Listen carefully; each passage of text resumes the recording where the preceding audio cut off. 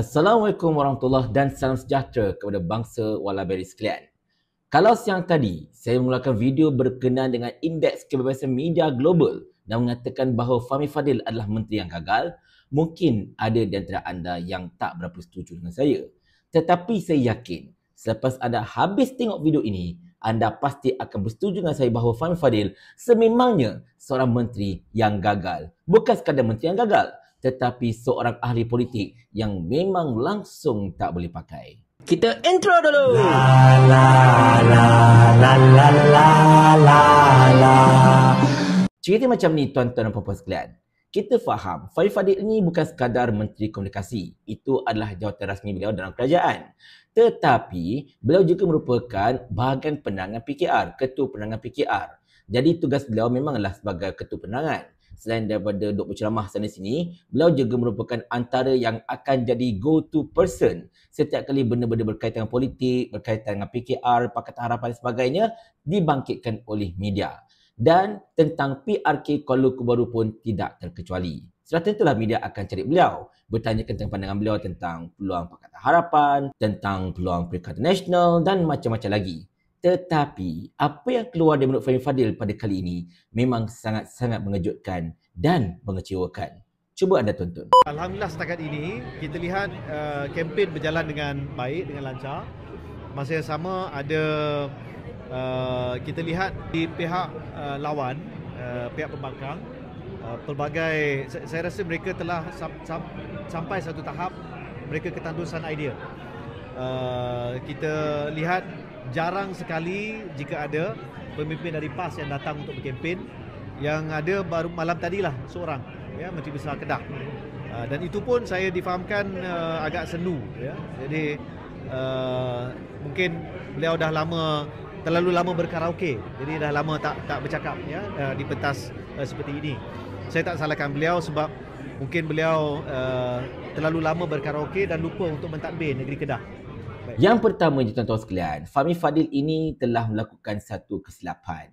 Dia kata pemimpin PAS tak turun. Mereka turun, turun je, masalah. Cuma kebetulan sebelum itu mereka memang ada jamuan hari raya dekat polis dan sebagainya. Jadi itu bukan isu.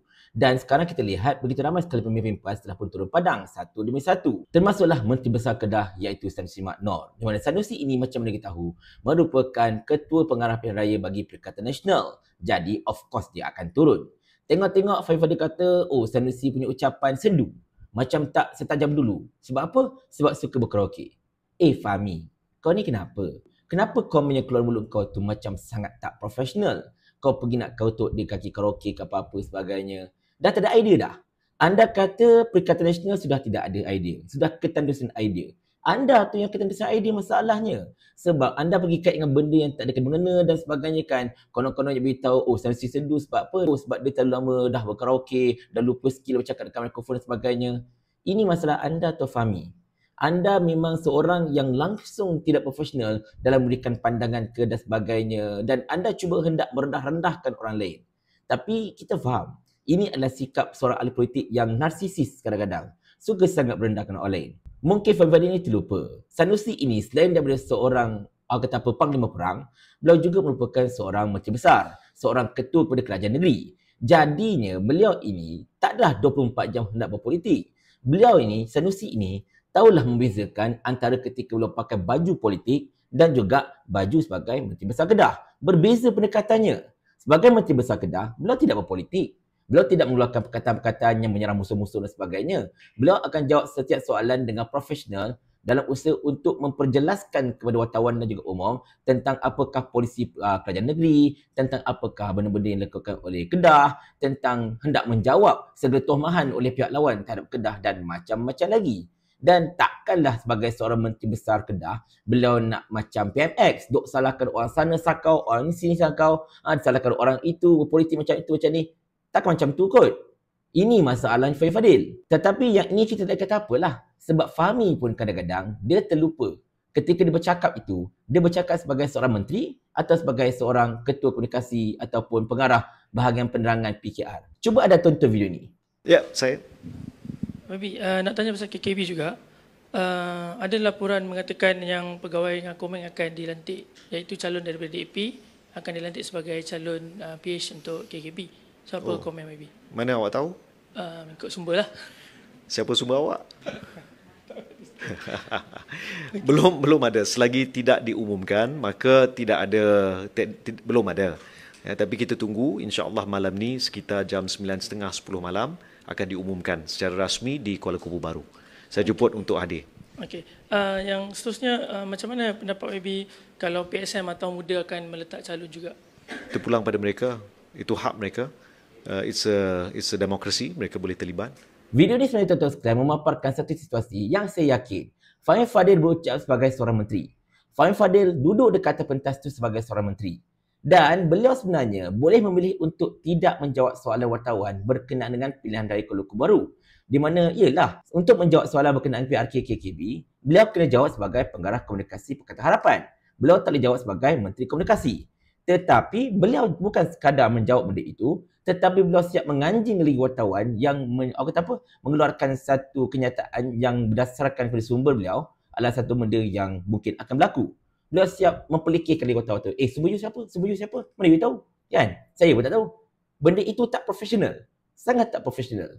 Sepatutnya Fahmi, anda kata macam ni tau. Sekarang ini, ini adalah program rasmi dan saya berduduk di atas ini sebagai Menteri Komunikasi. Jadi sebalang soalan yang berkaitan dengan politik, berkaitan dengan parti dan sebagainya, minta maaf saya tidak jawab di sini. Tetapi insyaAllah mungkin selepas program ini ketika anda jumpa saya ke bawah nanti saya akan jawab soalan itu sebagai pengarah komunikasi parti. Itu terbaiknya. Bezakan baju mana yang anda tengah pakai sekarang ini. Dalam bab ini, anda dengan Sanusi memang jauh panggang dari api masalahnya. Sanusi jauh lebih bijak berbanding anda. Tetapi, bila Fahmi Fadil nampak macam marah sangat Sanusi ini, mungkinkah disebabkan oleh ceramah Sanusi yang ini? Dua tiga hari lepas, masa mengumumkan saudara Khairul. Hari itu saya pi pejabat gol yang ginju. Ada? Ha? Dia tulis dalam medsos dia terserempak dengan Menteri Besar Kedah. Serempak berapa-apa hang aku pi rumah hang. Oh dia ingat, dia ingat kita ponah lah. Saya pi rumah dia. Pi pejabat dia kena dia buat jamaah di fitri. Campur dengan KPKT. Nampak kalau kau ni syok sangat lah. Saya pergi untuk menyantuni lah. Kita gentleman tuan-tuan tak nak takut siapa punya. Dia kata terserempak. Hoi, aku pi nak jumpa hang. Awal lagi saya tengok Lok Madam. Rupanya Lok Madam ni tukang sambut tetamu je. Woi, ulah dalam TikTok hari-hari. Macam-macam kata kat saya. Yang cer yang pilihan raya di Selangor. Yang kena hantam MB Kedah. Ha. Ulah macam-macam. Barailah dah kata saya. Mari dulu kata kat saya. Saya pipi saya kata, Fahmi dah Fahmi. Ada, ada. Kata, Oi, hang banyak komen jaga pintu ya. Dia tak tahu nak kata apa, dia gelak. Atu ya lobak men, tuan-tuan. Banyak ulah pasal politik pasal nu bela onu bela oni rupanya PH bagi jaga pintu saja kesian lo bakmen tuan-tuan sekalian saya pi saya nak tunggu PMX datang dia kata lagi PMX mai tunggu sat saya pun duduk saya sembah AR Badul sembah pelakon-pelakon ramai lah di kementerian tu lama tunggu tak mai-mai akhir sekali saya jumpa orang ramai saya pun balik lah Tengok-tengok Fahmi tulis terserempak dengan saya. Alamak. Alamak. Awak tulis serempak. Tulislah Sanusi Mai rumah terbuka saya. Baru nampak harmoni. Itu ya? Ni apa serempak-serempak? Ha? Gitu. Kan dia suka buat gitu. Ha? Itulah gaya menteri. Kita menyantui dia dengan sopan. Dia layan kita tetamu ni sebagai terserempak. Gentleman ke tak gentleman tuan-tuan? Tu gaya menteri hari ini. Walaupun tak apa pandai, tapi buat-buat pandai. Dia tak pandai. Dia tidak dapat menjelaskan dasar kerajaan. Pasal itu PMX teruk. Hari-hari orang lantak. Ni tukang lantak. Pasal apa orang boleh hantam Perdana Menteri? Pasal Menteri Komunikasi gagal. Betul tak? Pasal apa orang hantam Mak Sabu dalam isu beras? Pasal Menteri Komunikasi, Komunikasi gagal. Dia gagal nak terangkan mana pi beras. Berita TV tak cerita beras tempatan pi mana. Mak Sabu buka naik biru. Tak tahu nak apa lah. Nak jawab aku mana beras tak ada. Eh?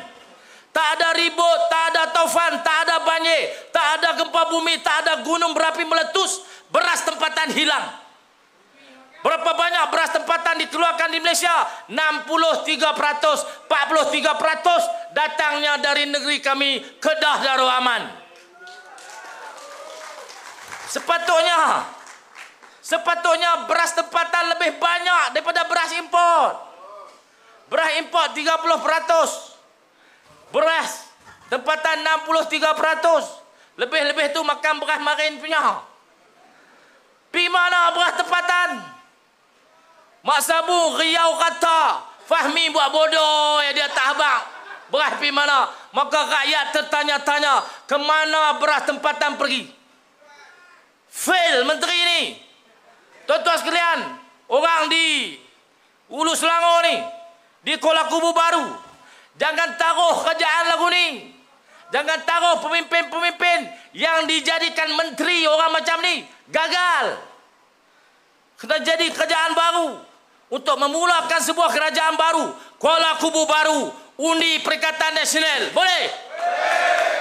Agaknya sebab ni lah kot kan. Teruk Fahmi kena. Kau-kau dah kena belasang dengan solusi. Tapi itulah kadang-kadang orang macam Fahmi ini kita faham. Dia ni ada semangat. Dia ni ada kemahuan. Tetapi ilmu dia pasal politik tu entah ke mana masalahnya. Yelah, saya tak nak kait dengan beliau ini merupakan pelakon ke apa-apa ke. Itu cerita dululah. Tetapi pada pandangan saya, Wi-Fi Fadil, sebelum anda hendak mempelikirkan orang lain untuk menunjukkan sikap anda yang tak profesional itu, anda kena cermin diri anda sebenarnya. Siapa diri anda, di manakah tahap kemampuan anda, baru anda sembang. Tetapi kita faham, Fadil Fadil buat macam tu sebab dia terdesak untuk orang kata apa, memastikan dia ada satu kedudukan lah. Nampak macam dia buat kerja. Walhal, seperti mana terbukti ketika laporan kita siang tadi, betapa Fahmi Fadil memang seorang menteri yang sangat-sangat gagal. Tapi itulah, kerajaan ini kan kerajaan dia. Dia boleh buat apa saja dia nak kan?